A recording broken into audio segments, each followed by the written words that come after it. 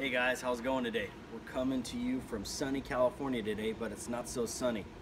Today, we're gonna use the brand new GMG grill, Daniel Boone edition that I just got for Christmas. And we're actually gonna smoke a pheasant today that my son shot not too long ago. So today we're actually using the premium Texas blend GMG pellets by GMG. And if we go right over here, you can see the pheasant that uh, my son shot. We put a little more seasoning on there. What I did is I wrapped it with bacon because as we know, pheasant doesn't have a lot of fat. So we wrapped it with bacon. We put some Cajun blast spice on it.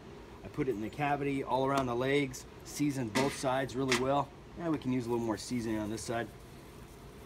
And what we're gonna do right now is we're gonna put it in the smoker and we're gonna let this thing sit for three hours until it reaches an internal temperature of about 160 degrees. Let's go over to the smoker.